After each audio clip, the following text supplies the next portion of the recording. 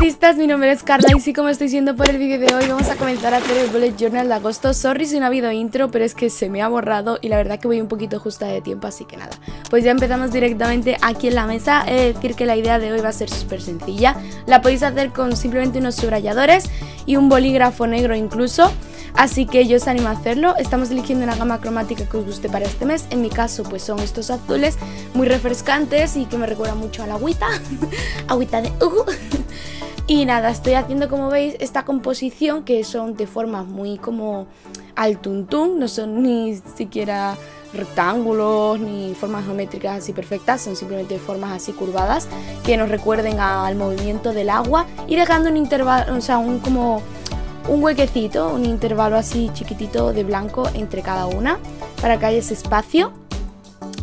Así que nada, la verdad que yo me he inspirado de esto en Pinterest, lo que pasa que le he añadido un poco mi rollo, la portada era totalmente completa eh, y algo parecida a esta, pero digamos que se parecía más a lo que es el agua cuando refleja por arriba el sol y se ven como manchitas, eso.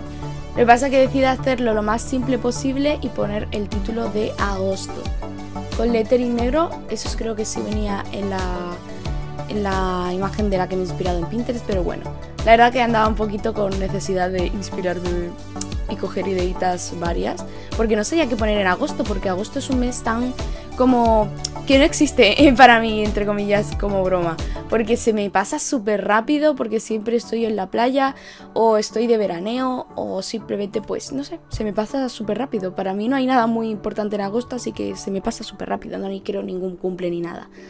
Así que ya estoy por aquí eliminando lo que son los bocetos del lápiz cuando una vez ya está seco el lettering y el rotulador.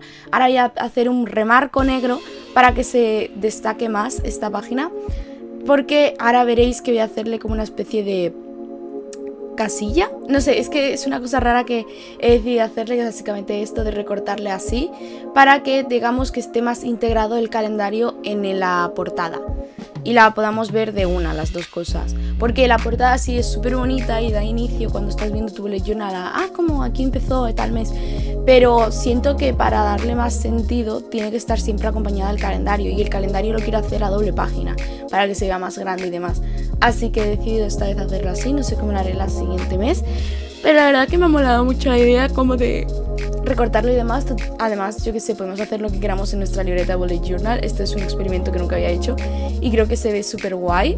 Sobre todo, yo que sé, si estáis, no sé, pues poniendo el calendario o cambiado de un trimestre a otro, creo que queda chulo como para, digamos, dar a entender que comienza algo nuevo. Yo simplemente lo he probado aquí en el mes de agosto porque me parecía que encajaba como súper bien con el mes como lo estaba haciendo. Y decidí como se veía tan tan simple que así estoy haciendo algo minimalista la verdad este mes. Decidí ponerle pues un fondo del color de este estábilo, el color este agua. Así que nada, pinté con mucho dolor en mi corazón porque no me gusta gastarme tanto así los rotuladores el fondo de este color de las dos páginas para que se notara todavía así más como que es lo mismo pero a la vez no el calendario y la portada, que es lo que quería, que se viera como junto, pero a la vez estuviera como separado para tener más espacio, pero a la vez sigue siendo como de la misma parte, que es lo que siempre hacemos aquí, el inicio del mes con vosotros.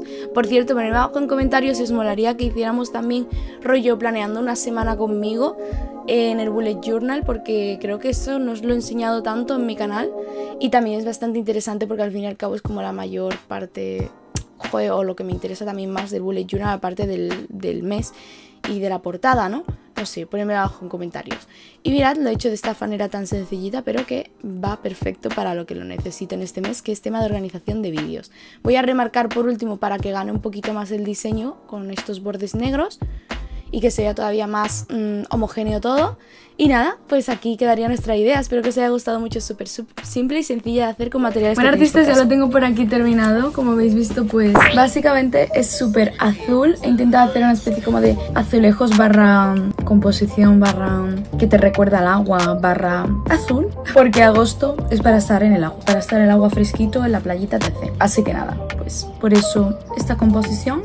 Parece que estáis poniendo rollo un trabajo de diseño o algo de arte, no sé. Y le he hecho esta solapita porque creo que se veía muy guay. Y al fin y al cabo para mí es como muy que la portada y el calendario debe estar como muy homogéneo porque es como la entrada en sí, las dos cosas al mes. Y pues digo, ¿por qué no? Ponerlo de esta manera, probando cositas. Y ya luego está por aquí el calendario de una manera súper minimalista, muy cómodo. Si veis que siempre dejo un poco más de margen aquí y aquí, es porque justamente en esa zona, al yo ser diestra, es cuando ya empiezo a dejar, o sea, es donde yo apoyo la mano. O sea, que si pongo como para escribir aquí, no voy a poder escribir bien porque voy a estar medio apoyada aquí y en la mesa. Súper incómodo para mí. Así que por eso dejo tanto borde por aquí para decoración o simplemente sin más. Así que nada, esto ha sido el bullet journal de, ju de junio, no, de agosto, perdón, que es que se me hace súper raro decir agosto, te lo juro. Para mí agosto es como un mes que no existe por la calor que hace. Así que nada, este ha sido el mes de agosto. Por abajo en los comentarios ideitas para el mes de septiembre, cómo lo podemos hacer y demás. Y también deciros que si no os lo queréis perder, pues suscribiros al canal, darle un buen like brillante y hermosísimo de la vida para que sigamos con la sección de bullet journal.